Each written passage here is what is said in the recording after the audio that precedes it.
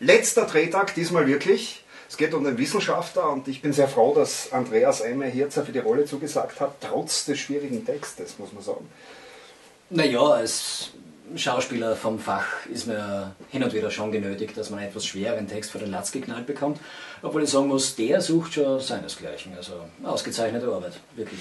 Das ist nicht von mir, es ist von der Veronika Strauß. Die hat meinen Text äh, auf ein Niveau, Niveau gehoben, das Nobelpreis verdächtig ist. Und ich bin auch froh, dass sie mir das noch gratis gemacht hat, dass ich sie noch erwischt habe, bevor sie den Literaturnobelpreis bekommt. So. Mhm, den hätte sie allein schon für den Text verdient. Eben. Ja, gehen wir es an, würde ich sagen. Ja, passt. Gut. Ich bin soweit.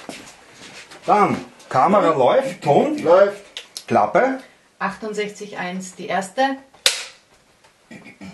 So. Was? Ohne Text? Auswendig? e